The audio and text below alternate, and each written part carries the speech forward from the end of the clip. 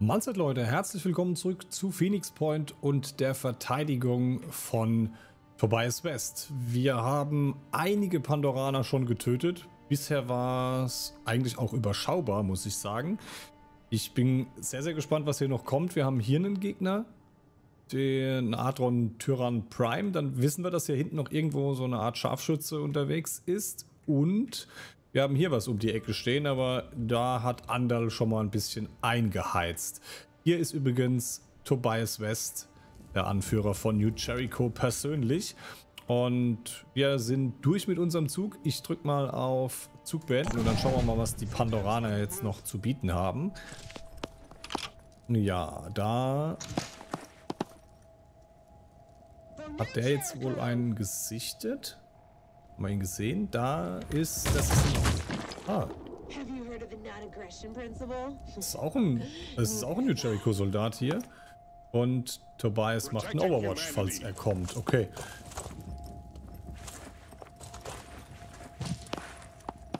Ja, hier rein, jetzt wird er eingekesselt. Jetzt müssen wir sehen, was es...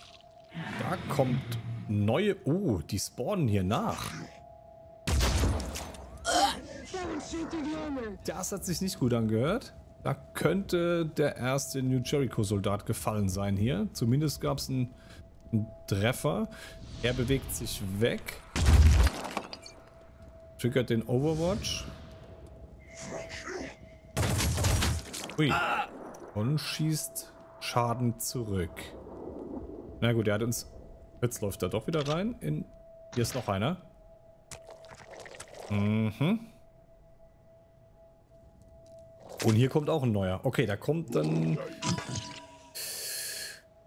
Ja, kommt noch ein bisschen was. Das Fahrzeug hier, komische Geschichte, konnten wir aktivieren, aber wir kriegen es nicht aus der Garage gefahren.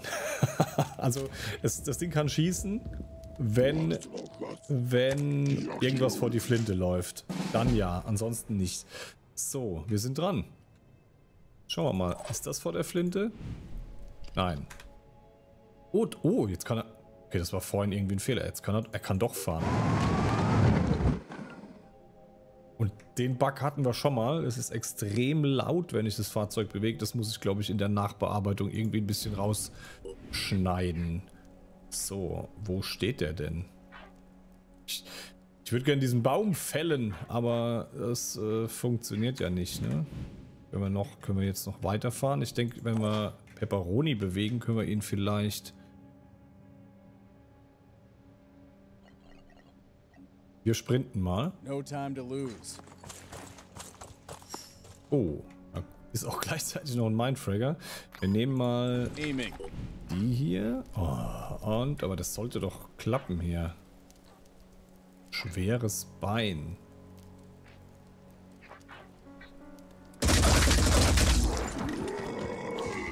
Jawohl, direkt, direkt aus den Socken gepustet. Dann fahren wir mit dem Armadillo jetzt mal hier hin. Oh, Ohrenschmerzen, aber an, sag mal, an was liegt das denn? Das ist ja alles... Naja, ich weiß nicht. Ich, das muss ich, das muss ich hier nachträglich rausschneiden. Und treff nicht von hier. Nun denn. Okay, dann schauen wir mal, ob wir mit Andal... Ja, ich will, kann jetzt hier, will jetzt hier natürlich nicht durch das Feuer laufen. Aber wir können den hier zumindest beschießen, ne?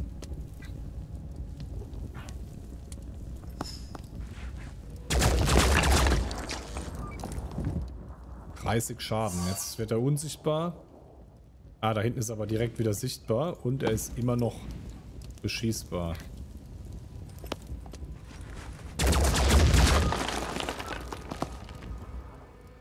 Ja, jetzt wird er wieder unsichtbar, aber es kostet ihn jedes Mal Willenspunkte, ne? Das ist, das ist ja auch nicht zu verachten. So, da haben wir nämlich jetzt hier schon einen in Panik. Wir bewegen uns hinter ihn und werden uns sprengen.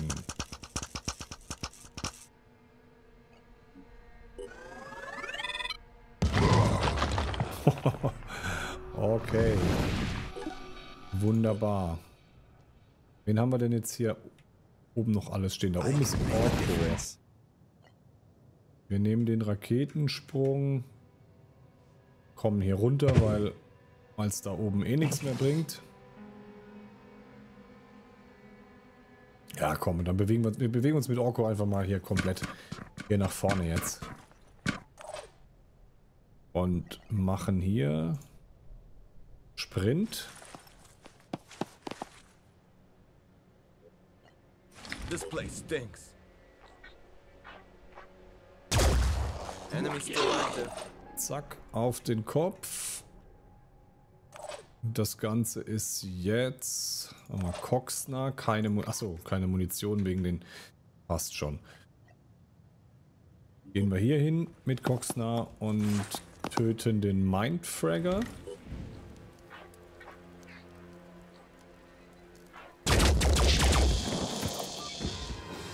Okay, das heißt, die Seite ist auch erstmal wieder erledigt. Und wen haben wir noch? Dark Malkov. Ja, können wir mit dem Geschütz was machen? Können wir.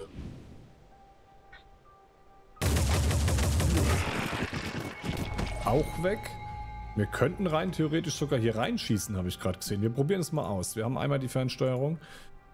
Wenn es Schaden macht, können wir das noch ein zweites Mal machen. Wenn nicht, ist auch egal. Aber wir schießen da einfach mal rein.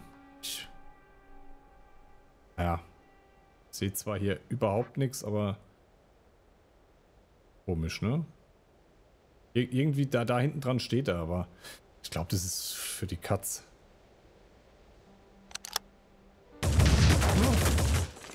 Ja gut. die, das Glas ist kaputt. Na, nicht wirklich. Wir können, ah, warte mal, wir könnten aber die Spinnendrohnen könnten wir benutzen. Um hier rein... Die sind ja immun gegen Feuer, oder? Bin ich... Die sind immun gegen Feuer. Immun... Ja. Also, wunderbar. Die bringen wir hier rein.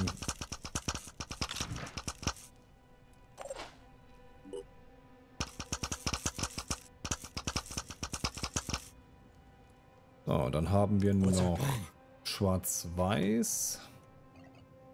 Mit genug Willenspunkten. Den bringen wir auch mal hier ins Gebäude.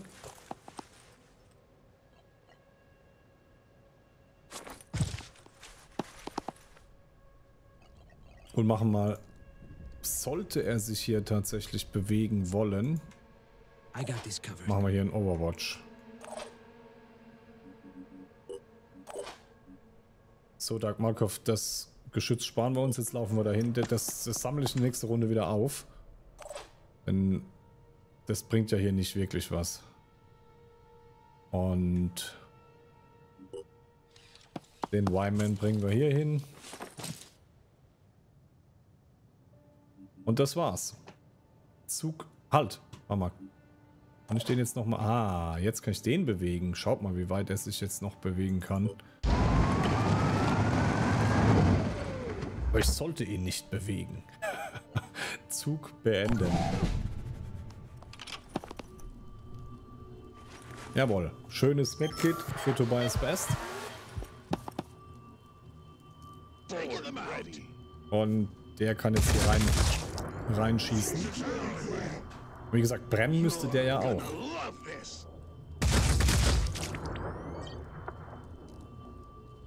Also viel, viel darf da eigentlich nicht mal dran sein an dem Burschen. Und Tobias West wechselt das Stockwerk.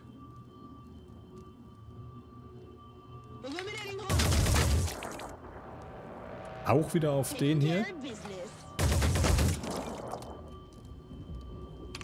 Aber entweder treffen die alle nicht oder, oder der steckt ordentlich ein.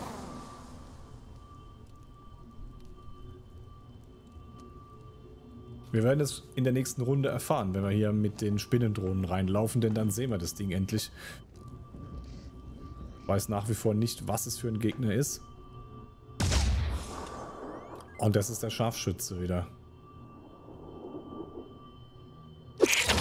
Oh, und ein Mindfragger.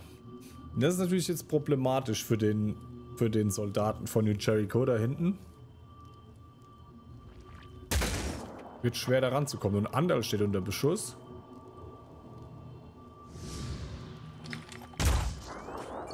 Jetzt kriegt er auch noch einen Overwatch. Der läuft ins Feuer rein. Guck mal. Wow. Das, das, das Feuer hat sich jetzt hier noch ausgebreitet. So, komm. Also, dann fangen wir mal mit den Spinnendrohnen an. Ich will jetzt wissen, was das ist hier. Aha. Tja, 140 Bluten. Der, der ist weg vom Fenster. Äh, Im wahrsten Sinne des Wortes. Wir laufen mit der Spinnendrohne einfach durch. Der, der, der stirbt. Um den müssen wir uns nicht kümmern. Da gucken wir lieber, dass wir die Spinnendrohne hier in Richtung dieses Scharfschützen oder beide in die Richtung dieses Scharfschützen bringen. So, dem, dem können wir irgendwie nicht helfen, dem Techniker hier, ne?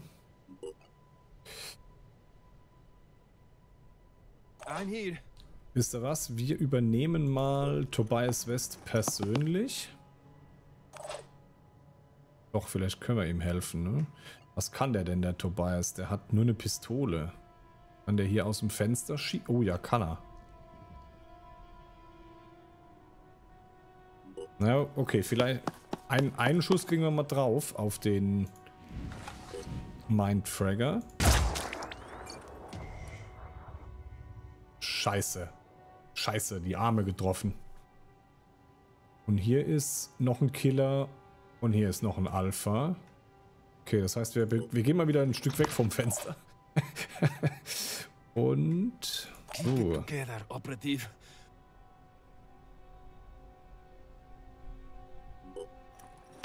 Wir nehmen, übernehmen die Kontrolle noch von diesem Soldaten. Ach, schau mal. Und Nölle, Nölle macht den Kill. Oder auch nicht, weil wir voll aufs Piranha schießen. War, war wieder zu, zu, zu voreilig hier. So, kommen wir mit zwei Sprints hier hoch. Ja, kommen wir. Okay, nächster Versuch, den Mindfragger loszuwerden. Klappt. Okay. Trotzdem ist es schwer für den, also ob der überlebt, stelle ich mal dahin, weil, ja, weil die beiden hier auf ihn schießen werden. So, was haben wir denn sonst noch? Orko? Here I come. Achso, da drin ist ja noch der...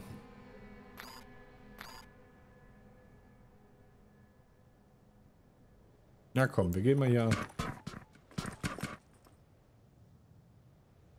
Kommen wir da irgendwie rein?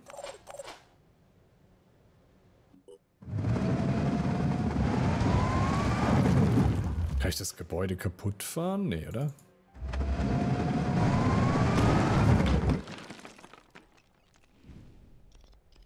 Kann ich es kaputt schießen? Ich denke nicht. Ich glaube nicht. Dann, dann benutzen wir den mal und fahren ihn hier mit Orko mit.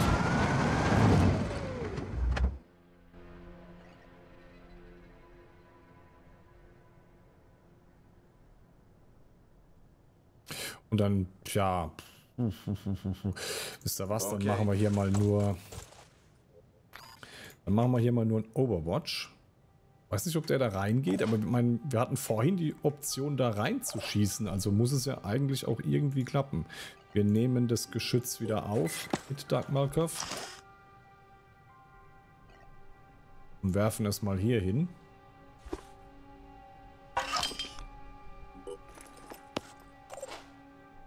So, dann haben wir Coxner. Hier drüben ist aber nichts. Wir können Coxner nehmen, um... Ah doch, ich komme auch noch hier rein. Wisst ihr was? Ich töte den jetzt, den, den, den brennenden Typi, einfach weil er uns, weil es auch noch vielleicht...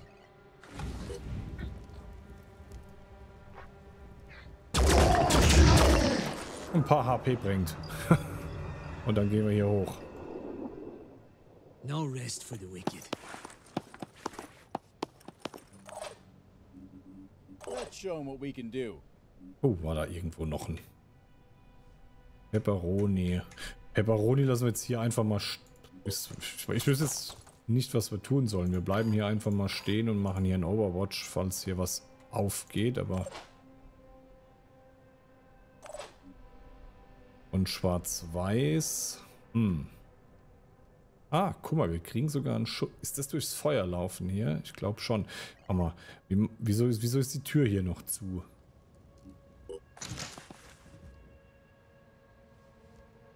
Das ist... Hier nimmt er Schaden, ne, wenn ich hier durchlaufe.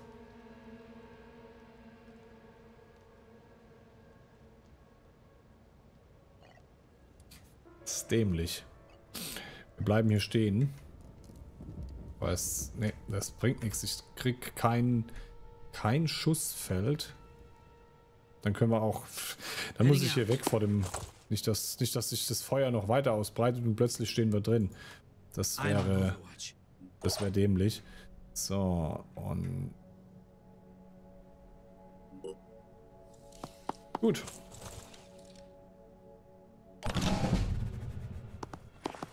Zug beenden. Was macht New Jericho? Den hier einmal beschießen.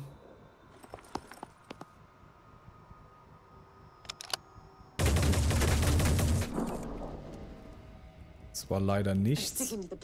Und der Techniker bewegt sich zumindest in Deckung. Ja, und deaktiviert hier einen Arm. Okay.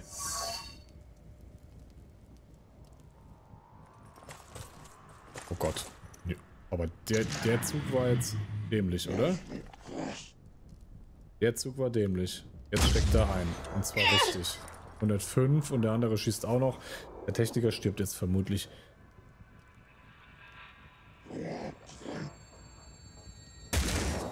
Ach, der schießt nur Lähmung.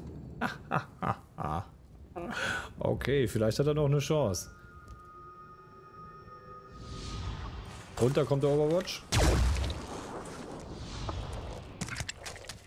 Sehr gut.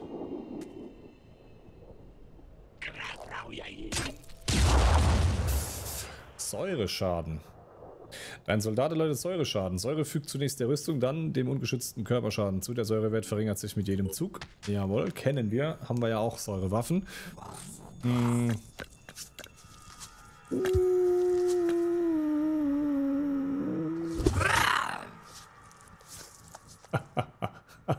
das war süß.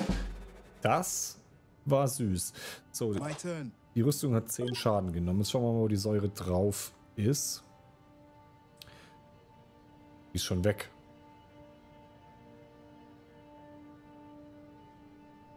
Die ist schon weg. Es waren nur 10 Säureschaden. Ging hier nur auf das eine Bein.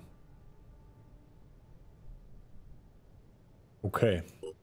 Und die und die Sirenen-Banshee, zum Glück konnte die keine Geisteskontrolle machen. Oder hat sie nicht gemacht, sondern hat versucht, den, den Armadillo zu, zu treffen. Aber das war natürlich irgendwie süß, oder? So, weg mit dem Kopf.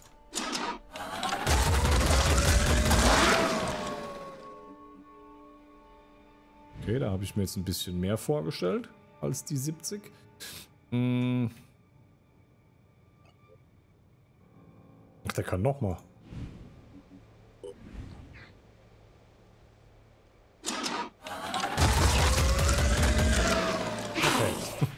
Besser. Besser.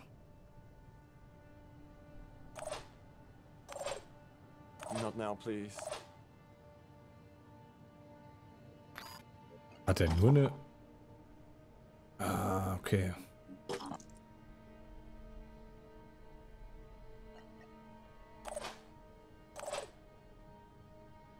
Okay, Sense. Einmal hier hin. Wir brauchen kein schnelles Zielen. Wir nehmen einfach nur das Daimos.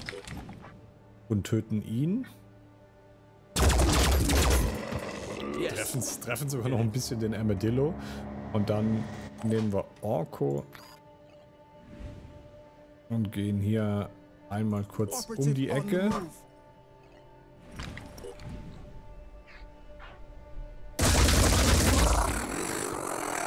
Okay. Ausgebanschied. Und jetzt haben wir hier drüben noch ein bisschen was zu tun. Das Feuer Ja, wir kommen hier... Ah, wir haben die Spinnendrohnen noch. Einmal hier hin. Oh, guck mal, der eine ist in Panik.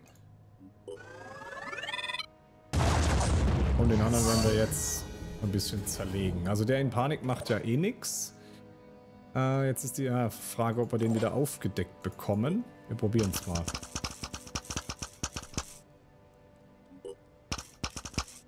Ja, nee. Okay.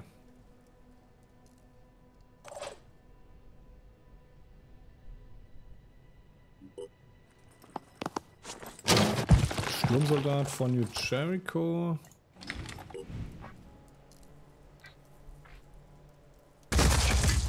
Nebelquellarm weg. Jetzt haben wir die Kontrolle über den Techniker.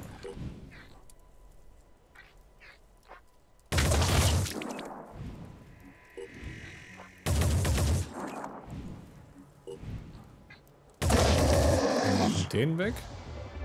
Jetzt ist es noch einer. Machen hier mal, also zumindest das, was ich jetzt vermute hier. Wir haben Coxner noch. Ähm, mit Coxner, jetzt stürmen wir mal hier rein. Vielleicht kriegen wir ihn mit Coxner aufgedeckt.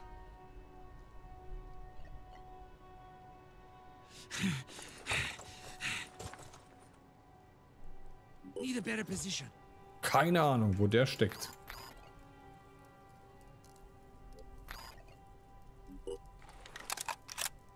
Hm. Dann gehen wir hier, hier rüber und gehen lieber in Deckung.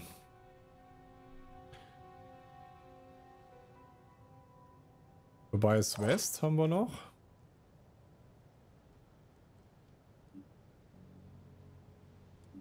Der hat ja, 365 Punkte, den können wir hier schon, den können wir hier schon noch, noch benutzen.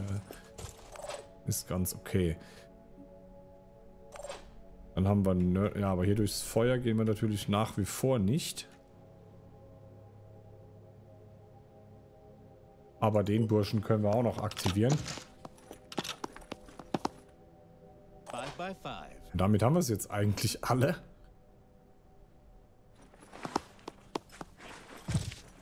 Was hat der für eine Waffe? Der hat einen Bulldog. Das heißt, hier können wir jetzt auch noch ein Overwatch setzen. Wo auch immer das Vieh hin ist. So, Dark Malkov.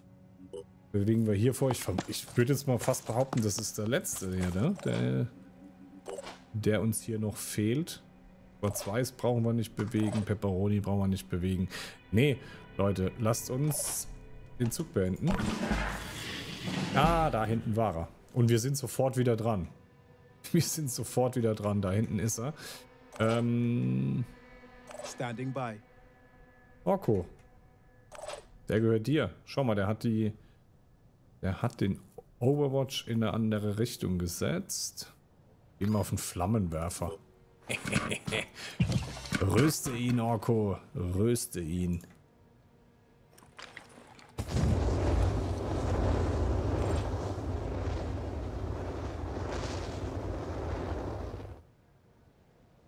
Dann haben wir Coxner, beziehungsweise es kostet keine Munition. Sprengung. Und das war's tatsächlich. Das war's.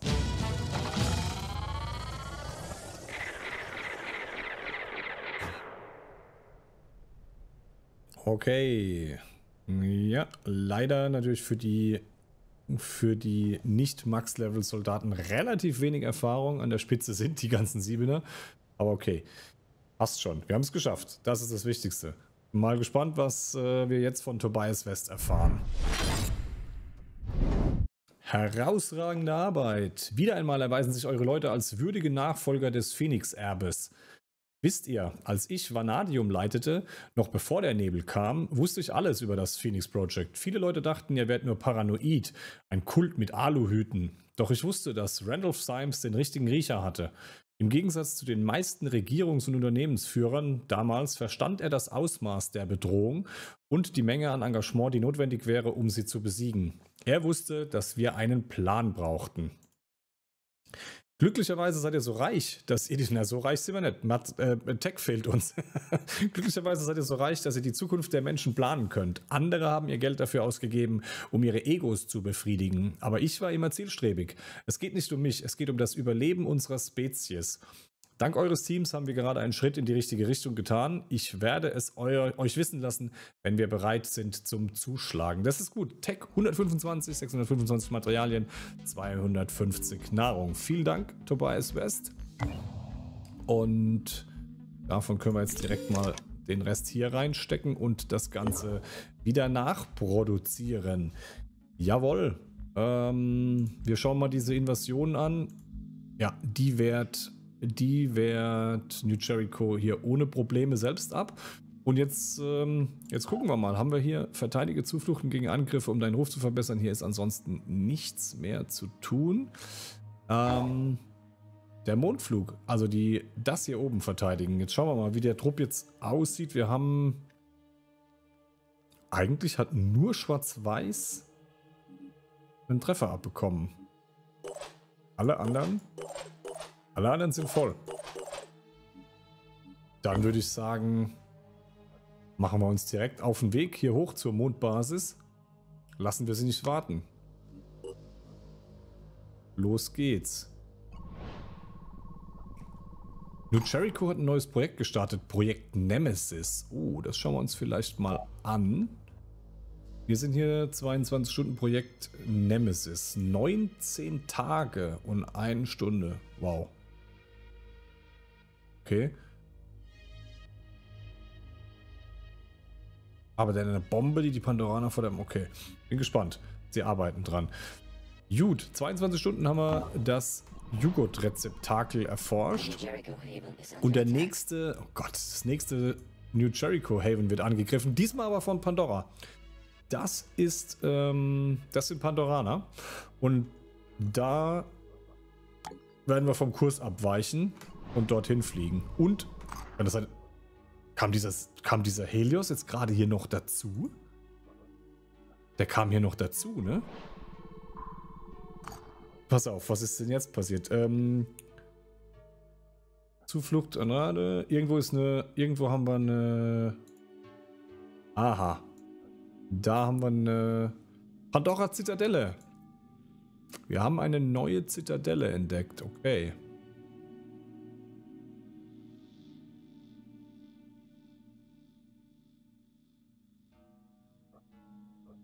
Ähm, bam, bam, bam, bam, bam. Hatten wir hier nicht noch irgendwo ein Fluggerät?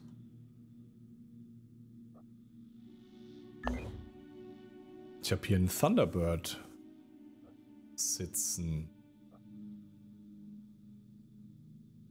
Warum auch immer. Den würde ich doch da mal hinschicken. Es sind zwar nur sieben. Reicht das für eine Zitadelle? Reicht, oder? Beziehungsweise wir können hier ja noch den Komm. Hier sitzen noch zwei Mann drin. Neo Rising ist hier dabei und, und Ataroth. Ja, komm. Die nehmen wir hier mit. Und dann nehmen wir den Thunderbird und fliegen auch da runter und bewegen uns schon mal zu dieser Zitadelle. Ähm, bum, bum, bum, bum, bum. Fort Ares schaffen sie selbst und Fort Taggart, da fliegen wir jetzt hin und ich bin hier sehr gespannt, ob da jetzt wirklich, ob hier, es steht Pandora da, aber es ist tatsächlich auch noch ein, ein Synetrion-Fahrzeug vor Ort. Wir können hier nochmal 94 äh, Tech äh, verdienen und noch jede Menge Materialien. Kämpfen gegen Pandora erstmal. Vielleicht ja, wer weiß. Vielleicht, vielleicht ist auch der ein oder andere Synetrion-Soldat auf der Karte. Ich bin hier echt gespannt. Aber wie das ausgeht in Fort Taggart, das sehen wir dann in der morgigen Folge. Würde mich freuen, wenn ihr wieder mit dabei seid. Bis dahin, Leute, haut da rein. Tschö, tschö.